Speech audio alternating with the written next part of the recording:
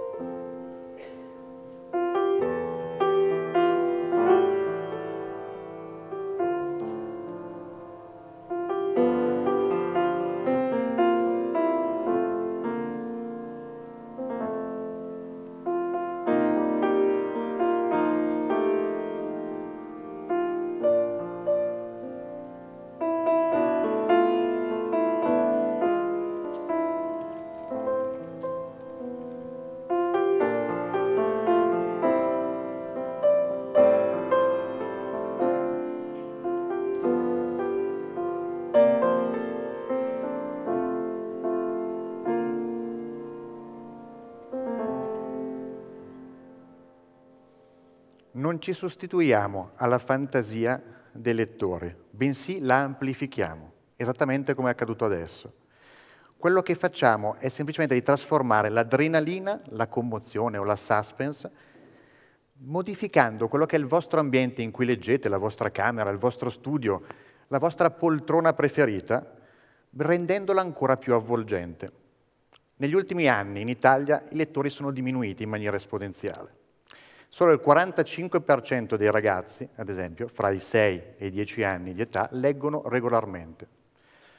Non parliamo poi dei lettori adulti, per carità. In quel caso i dati Istat a gennaio 2015 recitano che dal 46 al 41% sono scesi i lettori dal 2010 a oggi, confermando quindi una tendenza che sta sempre di più diventando inarrestabile al ribasso. Addirittura una famiglia su dieci in Italia dichiara di non avere un libro nella propria casa. Ma perché le persone non leggono più? Dicono che non hanno tempo. Ma in realtà se guardiamo il tempo che passiamo attaccato al cellulare, messaggiando, mandando comunque eh, messaggi via chat o via sms, oppure attraverso lo streaming, vediamo i film, scarichiamo musica, riusciamo comunque ad avere tempo. E questa cosa mi ha fatto pensare. E ho detto, Cosa posso fare io? Nulla. In teoria sono uno scrittore, non potrei fare null'altro che scrivere e sperare che qualcuno abbia voglia di leggere. Quello che vi presento oggi, però, attenzione, non è il surrogato del libro cartaceo, so già cosa penserete, vabbè, una nuova idea, sarà una fotocopia magari dell'ebook in digitale, non è nulla di tutto questo, perché non voglio sostituirmi a quello che può essere l'appeal del libro cartaceo. Lo tocchiamo, lo odoriamo, lo sentiamo, è bello leggere un libro cartaceo e non voglio sostituirlo, né tantomeno diventare un surrogato dell'ebook. Però bisogna dire una cosa, che la lettura in digitale sta crescendo. Al di là di quelle che possono essere magari le idee di ognuno di noi, è cresciuta la quantità di gente che legge in digitale, perché è economica, perché è versatile, perché alla fine è anche comoda da trasportare. Ora, mi sono chiesto, tornando al discorso di prima, per quale motivo non si legge in Italia e soprattutto nel mondo magari, perché stanno diminuendo i lettori non soltanto qua, ma anche oltre il confine. Perché per tanti leggere è noioso. Ebbene sì, è noioso. Non si è più capaci di far volare la fantasia.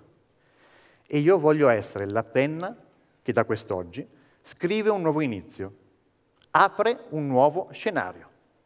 Bene, questo è il Moviebook, la macchina tecnologicamente più efficiente, ritornando alla frase di prima. È un'applicazione che permette di leggere i libri ascoltandone i suoni evocati dalle parole. Sembra un paradosso, perché di solito leggere implica il silenzio, ma non è così. Il mio secondo romanzo, Anatol, sarà il primo thriller composto con colonna sonora. Sarà l'occasione, tra l'altro, per capire e apprezzare di più quello che è l'abbinamento tra suono e parole lette. Attraverso la colonna sonora composta dal maestro Alex Fabiani, pianista, avremo modo da giugno, quando uscirà, sia nei paesi anglofoni sia in Italia, di capire che cos'è esattamente il Moviebook. Intanto iniziamo a capire cos'è Anatol.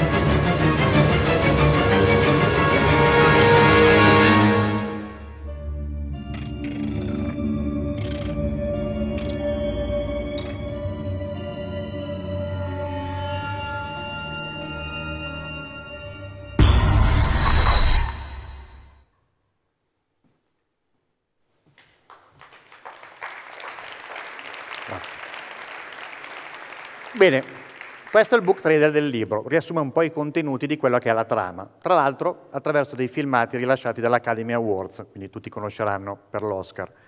Bene, cosa significa il primo libro innovativo con colonna sonora? Beh, Anatole è un romanzo che parla di jazz, come avrete intuito magari dalle immagini, e, ma lo fa con un piglio diverso fondamentalmente, perché permette al lettore di ascoltare i brani che il protagonista compone all'interno della trama. Beh, già di per sé comunque un qualcosa di innovativo, di particolare. Ma il movie book non è assolutamente solo questo. Il sottoscritto che vedete su questo palco non è più uno scrittore, bensì si trasforma e diventa in un regista di libri, una nuova professione, perché il movie book è una nuova forma di intendere la lettura. Lo farò, tra l'altro, con una cosa, un modo un po' particolare. Perché questo sistema che arriva direttamente dagli Stati Uniti ed è stato sviluppato in Italia, nasce da una mia idea, perché ho pensato per quale motivo non si riusciva a trasformare la lettura in qualcosa ancora più bello.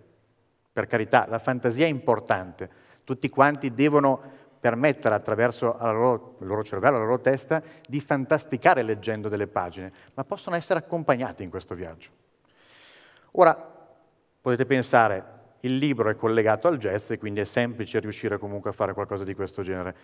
Ma in realtà, se pensate, questo sistema è adattabile a tutto, perché si possono udire i passi di un assassino in un libro thriller, o il rumore del mare in sottofondo mentre due innamorati camminano su una spiaggia. Ma anche il passo sincopato degli zombie, o piuttosto l'avvicinarsi di un vampiro dietro le spalle di una vittima. Ma soprattutto, per i più piccoli, si possono sentire i rumori della natura, il ruggito di un leone per un bambino, oppure raccontare le favole di un tempo, come Cappuccetto Rosso, facendo sentire al proprio figlio l'ululato del lupo.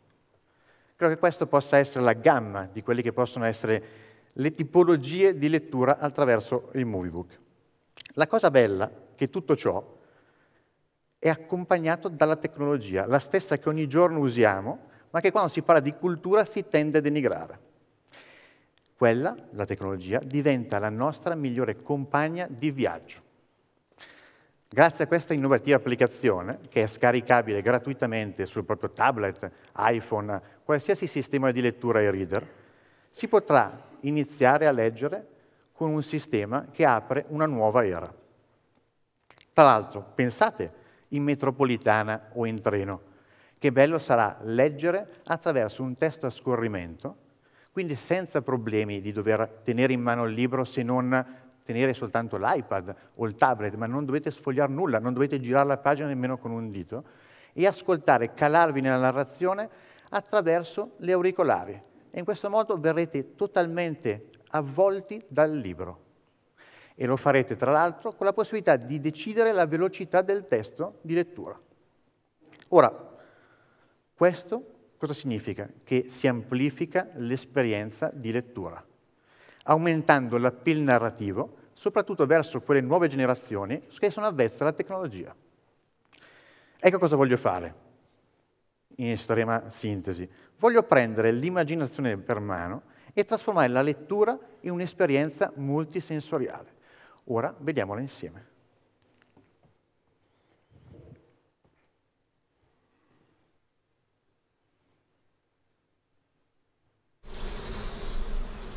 Quel figlio di Dio era troppo bello.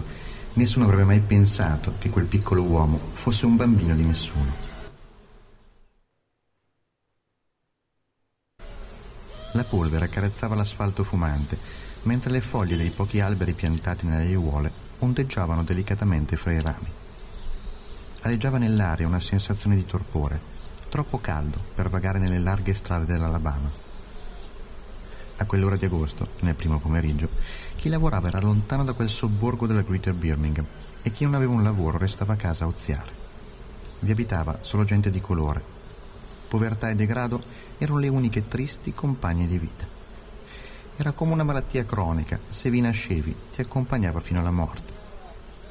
Difficilmente qualcuno era riuscito a fare fortuna partendo da lì, dall'area più povera della contea di Jefferson. Lei sola correva per quella strada con il sole a picco. Se qualcuno l'avesse vista avrebbe avuto un moto di paura. Giovane, grassa e con il grembiule bianco sporco di sangue.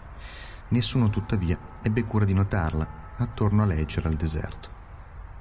La donna si avvicinò velocemente alla porta dell'istituto, come chiamavano il St. Mary in quel lembo di periferia. Era un ricovero per senza tetto e all'occorrenza un rifugio per bambini problematici senza padri e madri.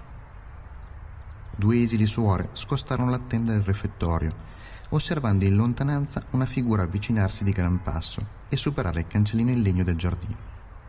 Erano incuriosite, volevano capire chi fosse. Poi notarono cosa aveva in braccio e non si curarono più di lei. Sapevano, era il testo di un libro già letto troppe volte. In lontananza, le gomme di un'auto fecero trasalire la donna di colore. Il suo sguardo era preoccupato, non voleva essere vista. Aveva al petto un piccolo fagotto composto da una lunga coperta di maglia fatta a mano. Raggiunse con fatica i gradini di quel fetido luogo, stordita dalle esalazioni della cucina ubicata nel sottoscala. Un odore acre, salato e stagnante le invase le narici. Quella puzza avrebbe fatto rabbrividire anche il più affamato dei disperati. Lì per lì il pensiero di cosa stessero cucinando le occupò la mente. Poi, come per caso, tornò a interessarsi del fagotto che portava con sé. Lo ripose a terra con cura, appoggiando il lato più corto verso l'ingresso. Bussò due volte. Poi, girandosi di scatto, iniziò a correre più forte che poteva, senza nemmeno attendere che qualcuno aprisse la porta. Sapeva che di lì a poco qualcuno l'avrebbe fatto e non c'era bisogno di aspettare. Preferì fuggire prima di essere fermata. Il suo goffo in cedere non la facilitava e il sovrappeso le sbilanciava le caviglie, rallentandola. Perse una lacrima, poi girò l'angolo e si dissolse nell'aria calda dell'Alabama, come fosse asfalto, anche lei, in quella triste città.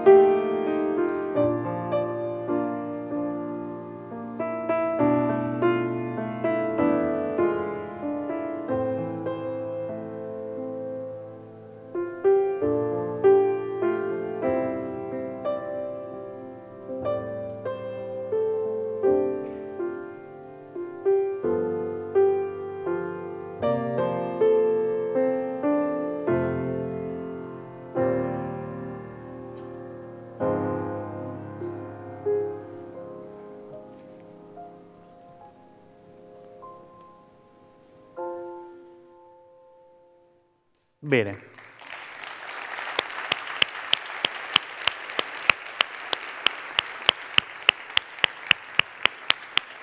Tutto questo è il Moviebook, lo potete trovare solamente in un libro. Grazie.